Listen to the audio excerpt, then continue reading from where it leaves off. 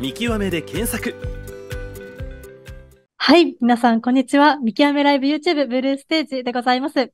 この時間はですね、国際協力銀行の鈴木様、笹地様にお越しいただいております。鈴木様、笹地様、どうぞよろしくお願いいたします。よお願いします。お願いいたします。ろしくお願いいたします。本日はですね、2つのコンテンツご用意しておりまして、まず最初にお二方の自己紹介と会社説明というところですね、あの、していただいて、次にですね、Q&A パートというところで、学生の皆さんからの質問に答えていただく2つのコンテンツご用意しております。またですね、この単語を見たよっていうことがですね、企業様に伝わるように、学生の皆さんはですね、あの、チャット欄に載っておりますチェックインの URL から必ずチェックインの方よろしくお願いいたします。こちら、あの、企業様にですね、あの、見たよっていうところを伝えるものになっておりますので、必ずお忘れなきをよろしくお願いいたします。またですね、えっと、この Q&A パートを待たずに、会社説明の段階からどんどんご質問いただけたらと思っておりますので、チャット欄も学生の皆さん盛り上げていただけたら嬉しいなというふうに思っております。それではですね、早速、あの、企業様の方にバトンタッチさせていただければと思いますので、鈴木様、笹地様、自己紹介と会社説明の方よろしくお願いいたします。お願いいたします。それでは画面共有の方をさせていただきます。見えていますでしょうか？はい、バッチリです。はい。それでは国際協力銀行略称 JBIC の、えっと、自己紹介、会社説明を始めさせていただきます。でまずはじめに自己紹介の方からさせていただきたいので、少々お待ちください。それでは鈴木さん、まずお願いいたします。はい。皆さん、今日は視聴していただいてありがとうございます。JBIC で採用担当している鈴木と申します。私、今ですね、9年目になりまして、2015年入社なんですけれども、えっと、大体4部署目ですね、今っていう感じなんですが、JBIC はですね、ジョブローテーションがある会社でして、まあ最初営業部にあの所属になったんですけれども、その後は、まあ、ミドルと言われる審査部、その後またフロント、営業部に戻って、今バックオフィスのあの人事という感じなんですけれども、ジェビックでは、あの、大体営業とそれ以外の部署をこう2、3年に一度ですね、あの、移動していくっていうのが一般的で、10年目までに一度海外に行くっていうのがよくあるキャリアパスなんですけれども、で、私も来年ぐらい海外行けるんじゃないかなと思っております。で、志望理由は下に書いてある通りなんですけれども、最初、あの、官僚とか目指していたんですけれども、金融ってすごくないみたいな感じでちょっと思うようになりまして、最後、あの、JBIC に決めたという感じでございます。今日はよろしくお願いいたします。はい。鈴木さん、ありがとうございます。それでは次に自分の自己紹介をさせていただきます。はじめまして、2023年の4月に入校し、新卒採用チームに配属されました1年目の笹地良太郎と申します。今は、えっと、2ヶ月半の研修が終わって、約2週間、3週間前から、えっと、この業務の方にさせて、ずらしていただいています。今、主な業務はこのような、こう、会社説明だったり、内々定者の方のフォローだったりをしております。はい。で、学生生活なんですけど、学業名は自分は理系の大学院を卒業していて、ここにシステム研究とあるんですけど、主に意思決定の研究をしていました。学業名以外では海外の個人ボランティアやテニス、サークルで団体戦などに取り組んでいました。はい。で、入校しました理由としましては、自分はまず一番の大きな軸は世界中と接点を持ち続けたい、世界を舞台に活躍したいっていうのが一番やはり大きかったです。その中でもこう様々な企業さんがあると思うんですけども、こう就活をしていく中で、公共性というところで、こう利益以外の面で何かをこう考えたり、議論できるっていう環境がすごく自分には合っているのかなと感じて、すごく志望度が上がりました。そして最終的には選考だったり、内定後のフォロー、フォローフォローを通して感じた職員一人一人を大切にする社風というところで入校を決めました。本日は短い時間ですが、よろしくお願いいたします。はい。それでは本日の流れなんですけども、大きく3つのパートに分かれていまして、そもそも国際協力銀行、略称 JBIC っていうのをこう、なかなか初めて聞く方も多いのかなと思っていますので、国際協力銀行とはどんな企業なのかという点について、まずは話していきます。で、次に JBIC の仕事について話して、最後に JBIC で働く場合はどんな感じなのかなってことを話していきたいと思っております。はい。まず国際協力銀行を一言で言いますと、本及び国際経済社会の健全な発展に貢献することを使命とする政策金融機関だと言えます。この政策金融機関という言葉、自分も就活の中で初めて知った言葉だったんですけども、聞いたことはある方いますかね？なかなかあまり聞いたことないことかなと思いますので、こちらから説明させていただきます。政策金融機関と言いますのは、日本政府の政策を実現するために、設立された金融機関でございます。そして JBIC というのは、その様々な政策金融機関がある中でも、対外経済政策、海外向けの経済政策を実施するための組織であるとご認識いただければと思います。その他の政策金融機関ですと、日本政策投資銀行さん DBJ さんであったり、日本政策金融公庫さん JFC さんなどがあります。この政策金融機関のポイントとしましては、もちろん利益も追求するんですけども、やはりこう日本政府の政策を実行していくというところに主眼を置いているため、そちら側にすごく重きを置いています。で、もう一つポイントなのが、対外経済政策ということで、こう、舞台が世界にあるっていうのも、もう一つ大きなポイントになっています。そんな JBIC なんですけれども、こう公共性で、また海外というポイントから関わるステテークホルダーがこうすごく多岐にわたっていて、日本政府は政策の面ではもちろん、時には海外政府であったり、国際機構と関わることもあります。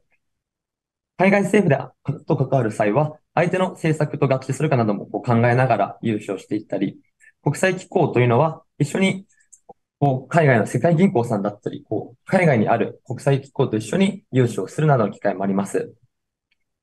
このように JBIC では、なかなか民間金融、民間の会社さんでは関わることのないような、こう、ステークホルダーと関われるのも一つの魅力なのかなと感じております。はい。そんな JBIC なんですけれども、こう4つのミッションというのがありまして、この4つのミッションに基づいて日常日常の業務を行っております。はい。これ実はあまり聞いたことないかもしれないんですけど、国際協力銀行法という法律がありまして、そこの第1章の第1条に記載されている内容となっております。ここからは一つ一つ説明させていただきます。はい。まずはじめに、日本産業の一つ目のミッションが、日本産業の国際競争力の維持、向上ということで、日本企業の海外インフラ事業参画であったり、証券中小企業の海外事業展開の支援などを行っています。インフラ事業と言いますのは、期間が長く規模が大きいという特徴から、なかなか一般の金融機、民間金融機関さんだけでは手を出しづらい分野であるため、JBIC がこのように役割を果たしています。で、中堅中小企業さんというのも、なかなか海外に進出する機会がないっていう際に、こう JBIC が周りと比較した際に低い金利で融資をすることで、海外進出の手助けをしているというふうになっております。はい。このミッションのもとでは、いろいろな案件があるんですけれども、例えば、日立製作所さんの海外 M&A のご支援ですとか、あとは、最近は JBIC は出資というのも行っていますので、真ん中の北欧バルト地域におけるファンドの設立ですね。日本企業さんと一緒になってファンドを設立するなどいうことも行っています。ここで、えっと、感じ取っていただきたいのは、こう、見ていただいた通り、様々な国、地域で、様々なプロジェクトに JBIC が関わっているっていう点を感じ取っていただけたらなと思っております。次に二つ目のミッションについて話していきます。二つ目のミッションが、日本にとって重要な資源の海外における開発取得の促進ということで、知っての通り、日本はこう資源に乏しい国ですので、こう長期安定的に資源を海外からこう確保するっていうのはすごく重要なことなんですけれども、鉱山であったり、天然ガスなどのプロジェクトに JBIC がご支援をしています。で、この長期安定的な資源の確保というのには、こう、莫大な資金がかかるんですね。そこでまず、こう、やっぱり資源をしっかり取ってくるっていう、こう、政策的な意義であったり、先ほども言いました、こう、莫大な金額なので、民間だけで補えないという際に、こう、JBIC が金融、金融的な面でもサポートをしていくというふうになっております。はい。で次に3つ目のミッションなんですけど、地球温暖化の防止等の環境保全を目的とする海外における事業の促進ということで、こちらはもういろいろな案件があるんですけれども、海外の太陽光発電事業への融資であったり、水素、水素ステーションのを設立する際にスタートアップへの出資というものを通して、こう間接的に地球環境の保全に資する案件を支援させていただいているというものになります。このような案件を JBIC 内ではこうグリーン案件と呼ばせていただいてるんですけども、もともとはグリーン案件っていうのはこう二酸温室効果ガス等のこう削減効果に着目して、これはグリーン案件だよね、これはグリーン案件じゃないっていうのをこう認定していたんですけども、2018年からは今後よりこう積極的に世の中的にもこのようなグリーン案件を増やしていきたいということで、こう大気汚染の防止であったり、水質改善だったり、こう様々な対象分野の広がりが見せています。個人的にも就活をしている際に、こういう新しいグリーン案件というのはすごく自分も興味があって、というのも、こう、新しいプロジェクトなので、新しいリスクだったり、金融手法をこう用いることがあるんですね。そこにすごくこうチャレンジングなやりがいがあるのかなと感じていました。またもう一点補足なんですけど、左、左側のベナンという国のプロジェクトに関しましては、こちら、こう、ちょっと内容は少し難しいんでって割愛させていただくんですけど、この案件を担当したのが当時3年目の職員が直接ベナン政府とのやり取りを通じながら案件承諾まで持っていったというように、ジェビックではこう若手からもこういうような案件に携われているのも一つのポイントとなっています。はい。で、四つ目のミッションなんですけども、国際金融秩序の混乱防止と被害への対処ということで、こちらは、こう、新型コロナウイルスですとか、リーマンショックなどの、こう、経済環境全体に、こう、影響を与えるようなイベントが起きてしまった際に、日本企業さんの、こう、海外事業を支援するっていうようなミッションとなっております。このようなミッションが、こう、定められているのも、なかなかこう、パブリックな、JBIC のパブリックな面が現れて、現れているのかなと思います。はい、ここまですごく駆け足で来てしまったんですけど、ここからは JBIC の仕事について話させていただきます。ということで、ここからは JBIC の仕事についてなんですけども、まずはじめに JBIC の出有種というのは、こう見ての通り、ご覧の通り、本当に様々な地域に対して行っているということがわかります。その中でも大きく、こう JBIC の金融手法としては、融資と出資っていうものがございまして、融資の中にも大きく3つあります。輸出金融、輸入金融、投資金融ということで、この一番左の輸出金融というのは輸出をする際にこう金融的なサポートをすること。輸入金融も同じです。で、投資金融というのは、海外のプロジェクトであったり、事業をする際にかかるお金に対して JB が融資をするような形となっております。で、実際に具体的な例をここで一つ見ていきたいんですけれども、こちらはドバイで廃棄物の処理によって発電を行う事業なんですけれども、これはそもそもの伊藤忠商事さんと日立造船さんが行っているプロジェクトでして、そこに JBIC が融資をさせていただいたというような案件になっております。こちらのプロジェクトの意義としましては、まず一つ目がドバイの国家的な課題の解決につながっているということ。そして二つ目に、先ほど話しました伊藤昌司さんであったり、立造船さんなど、日本企業さんの海外インフラ事業への参画をご支援するということが挙げられます。はい。で、このようにこう、ちょっと少し煩雑になってしまっているんですけど、右側を見ていただきたくて、この一つの仕掛けがこう全てのステークホルダーなんですけど、ここでの JBIC の役割というのは、お金を貸すっていう点にもあるんですけど、もう一個すごく重要な点がありまして、一番右のドバイ行政庁という、ドバイの政府がいるんですけども、JBIC はその政府系の金融で、金融機関ですので、ドバイ政府ともつながりがあるため、そこでこう話したり何かあった際にこう対処できるというような大きな役割も担っています。そのような点から、このプロジェクトの実現に貢献したのかなと感じております。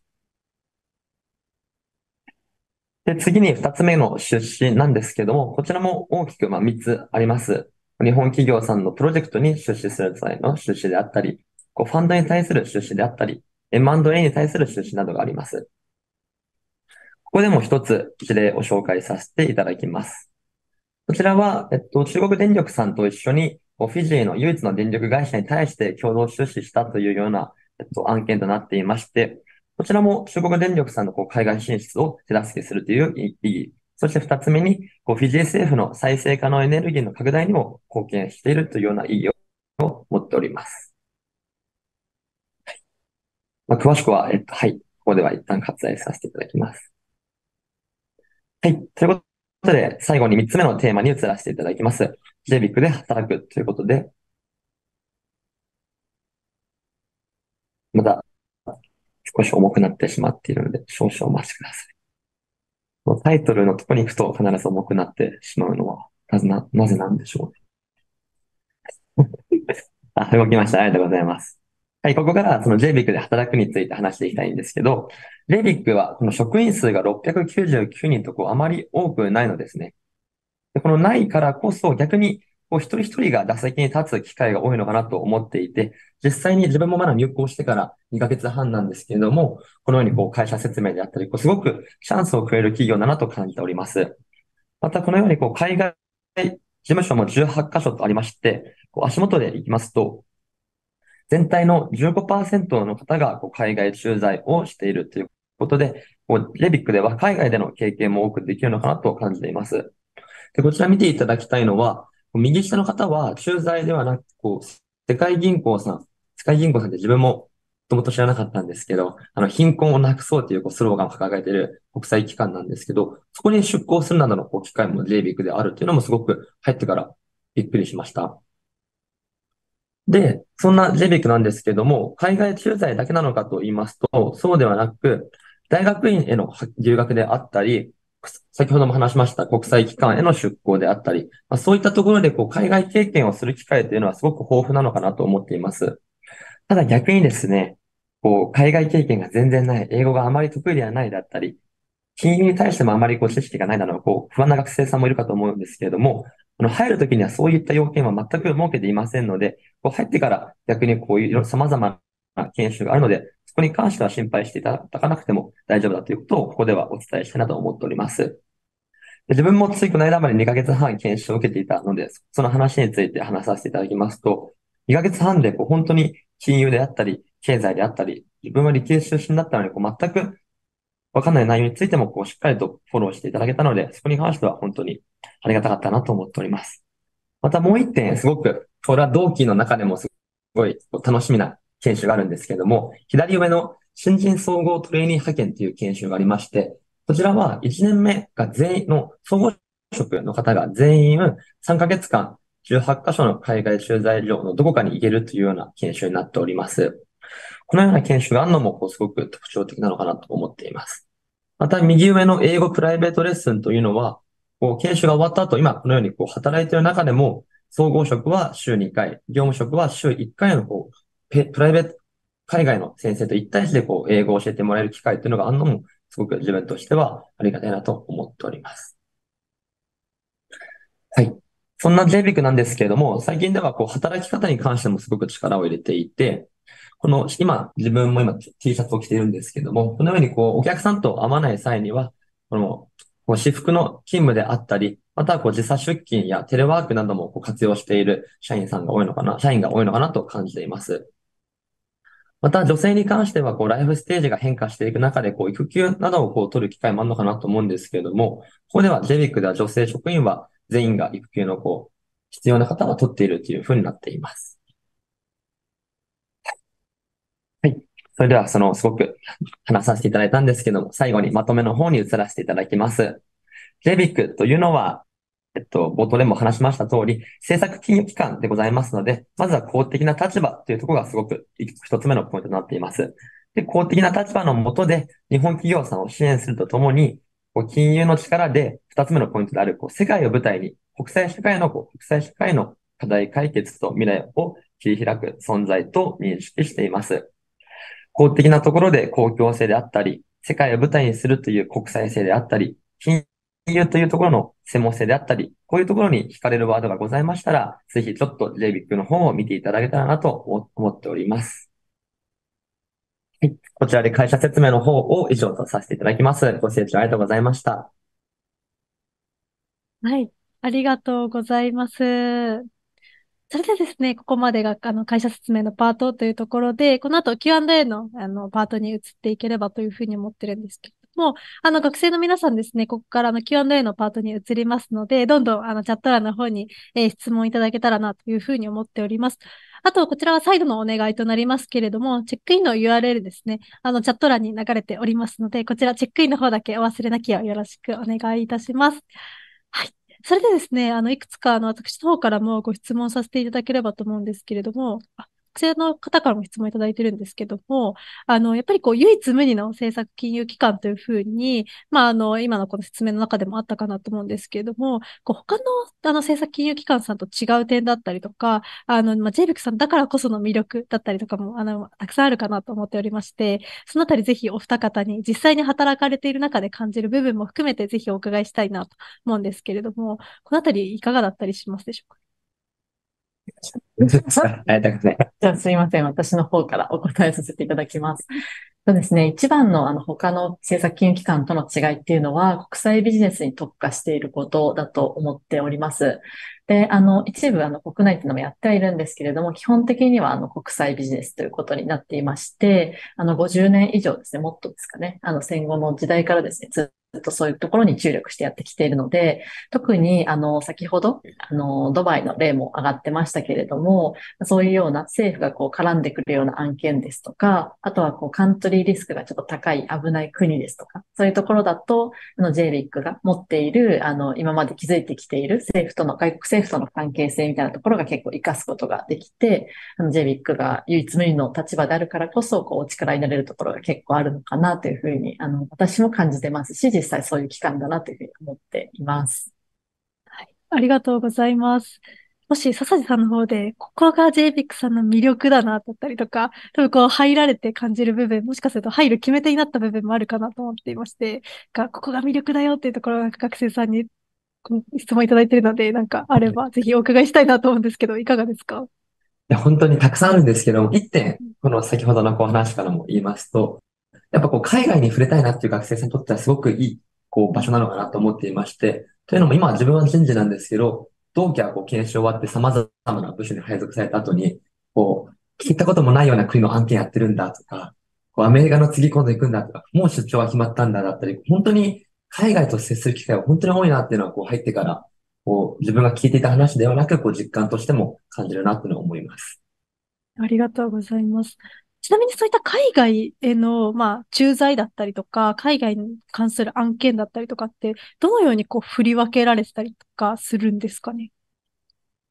そうですね。あの、基本的には、あの、部署がセクター別で分かれていますので、出資だけちょっと出資部があるので別なんですけれども、例えば電力の案件をやる部署とか、あの、資源系の部署とかっていうふうに分かれているので、基本的にはそういうところのセクターごとなんですけれども、特にその、あの、例えば資源だったらアフリカとかですね、南米とかがこう結構関わりがある国だと思うんですけれども、そういう部署に紐づいて、あの、国担当制度みたいなのもあったりしまして、あの、各担当者がですね、その国の担当みたいなのを持ったりして、そういう国とすごく関係が深いような案件は、そこの部署がやったりというようなこともあります。なるほど。ありがとうございます。まあ、それぞれセクターが分かれていてっていう感じなんですね。なるほど。理解できました。ありがとうございます。ちなみに希望する案件とかプロジェクトって自分で選べたりするんですか？それともこう、割り振られたりするんですか？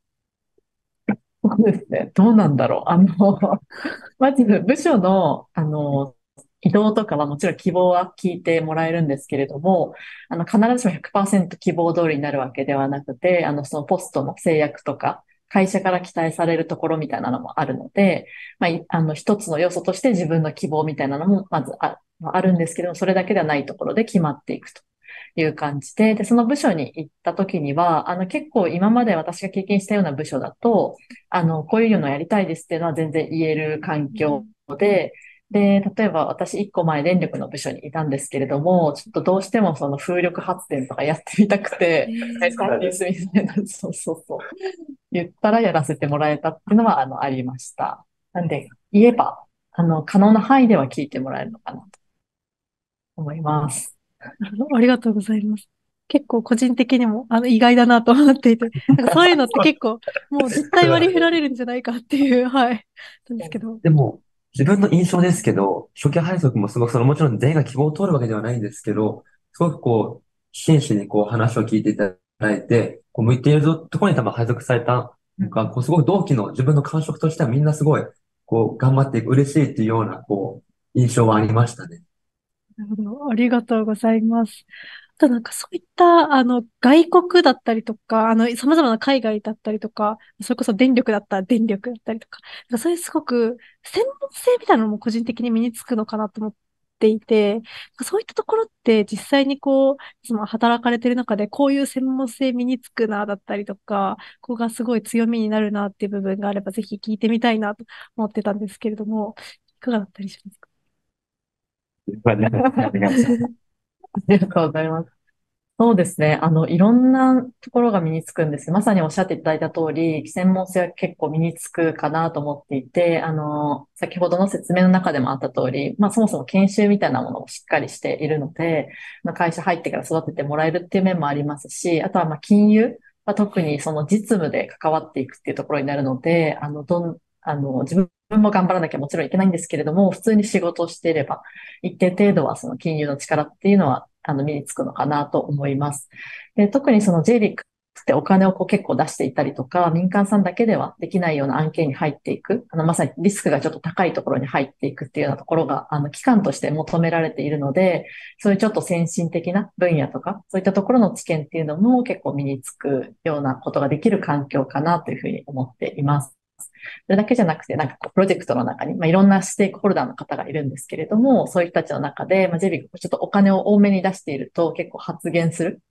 あの、機会も結構多くなったりして、なんかそういう人たちを取りまとめたりとか、そういうなんかソフトスキルみたいなところも結構身につくかなというふうに思っています。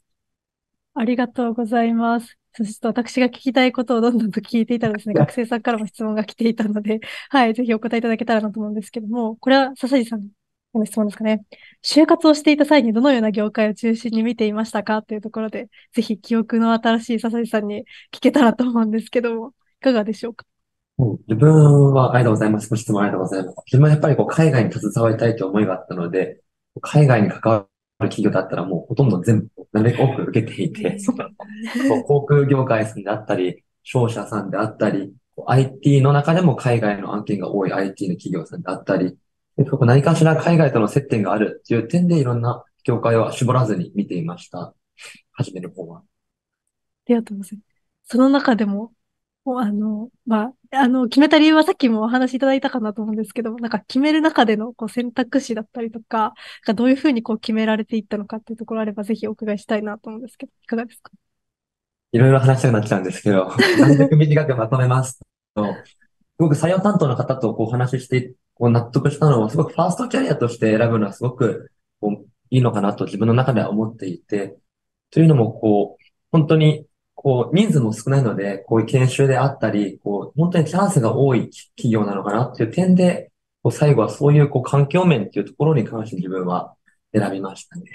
うん、なるほど。こう、あれですかね、お話しされてる中ですごいいい人が多いな、だったりとか、ももちろんのこと。はい。なんかそエピソードとかってあったりします。こういう話聞いていいなっていうふうに思ったとかっていうのもし思い出せる範囲であれば、ぜひお伺いしたいなと思うんですけど。僕の思い出ではあれなんですけど、はい、30分の面談をする機会があったんですけれども、はいはい、その際にこう、時間を超えて1時間半こういろんな熱心な話をしてくださった際に、こう、本当に一人一人の学生を、に時間を使って、こう、話を聞いて、いろんなことを見ていこうっていう姿勢をすごくそこで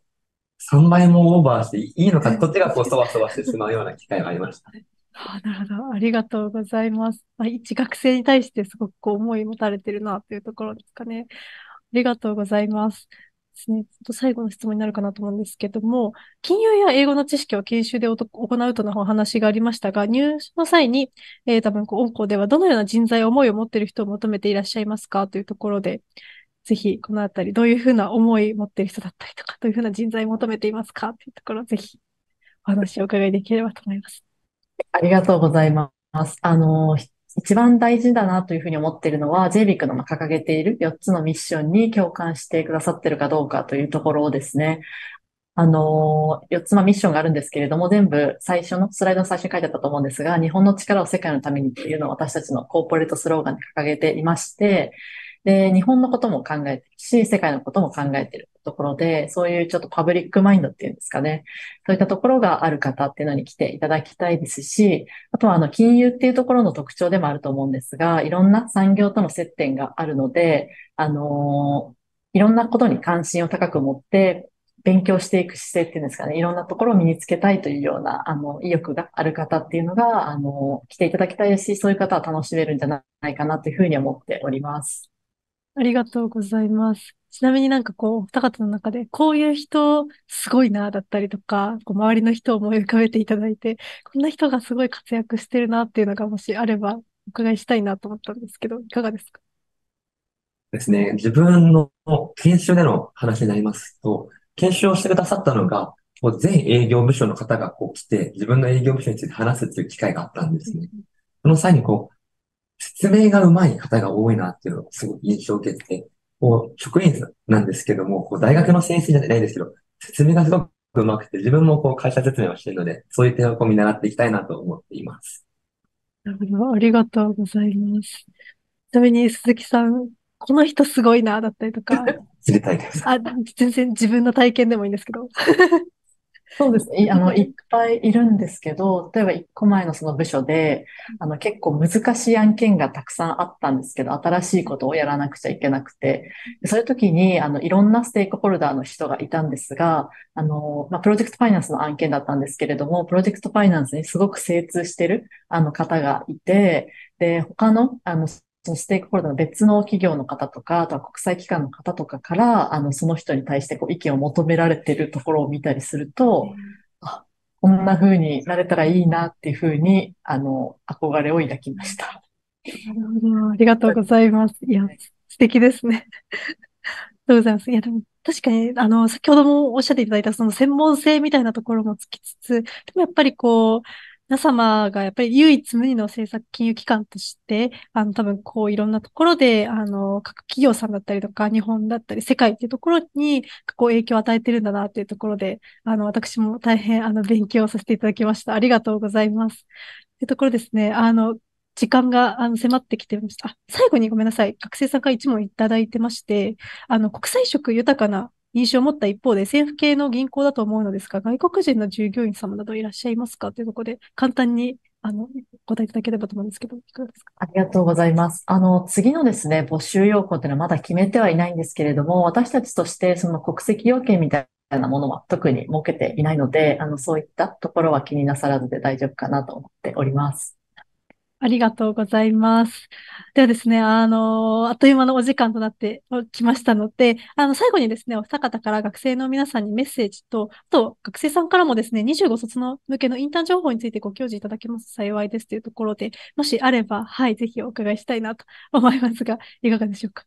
ありがとうございます。じゃあちょっとそのあたりは笹軸の方から言っていただくとして、私から先にあの皆さんにというところなんですけれども、あのこれから就活をされる中で、あのいろんなところを悩んだりとか、あの迷ったりというところあると思うんですけれども、最後にご自身が納得するっていうところが一番大事だと思ってますので、その間にですね、もし JBIC に関心を引き続き持っていただけるようでしたら、あの、私たちとして、あの、どんな情報でも提供していきたいというふうに思っているので、ぜひいろんな、あの、媒体とかですね、こういうセミナーとか見ていただけたら嬉しいなと思っております。今日はありがとうございました。はい。ありがとうございます。では、最後に告知とメッセージの方、佐々様からよろしくお願いします。画面共有の方させていただきます。はい。こちらなんですけど、あの、マイページかと思いきや、あの、新卒採用ホームページということで、まだ、インターンの方は、夏は開催していないというのが、えっと、今、現状でございまして、その代わりにこう JBIC でのこう新卒採用ページを設けていますので、そちらでこのようなプロジェクトだったり、人を知るだったり、こう様々なコンテンツがありますので、もしこう JBIC に興味があったり、何かもう少し知りたいなっていうものがありましたら、ぜひこう見ていただきたいなと思っています。JBIC 新卒採用でご検索ください。で、最後にメッセージなんですけれども、自分も去年まで就活生として本当にすごく悩んだんですけれども、もうやっぱりこう悩めば悩むほど入ってからもこう納得感だったり、こうつこう辛くても自分で選んだっていう、こう、そこがすごく強かったので、こう悩む、悩んでる学生にこう寄り添えるような採用担当にもなっていきたいと思っていますので、ぜひ一緒にここから頑張っていきたいなと思っております。よろしくお願いします。はい。お二方ありがとうございます。それではですね、学生の皆さんはですね、チャット欄に載っておりますチェックインの URL と、あとアンケートの回答、あの、忘れなきはよろしくお願いいたします。次の7タームはですね、日本貿易保険様ですね、15時55分から開始予定となっておりますので、見極めライブ YouTube、この後もお楽しみいただければというふうに思っております。それではですね、改めまして本日ご登壇いただきました、鈴木様、笹地様、どうもありがとうございました。ありがとうございました。ありがとうございました。ありがとうございました。学生の皆さんはですね、引き続き見極めライブ YouTube お楽しみください。それではまたお会いしましょう。バイバーイ。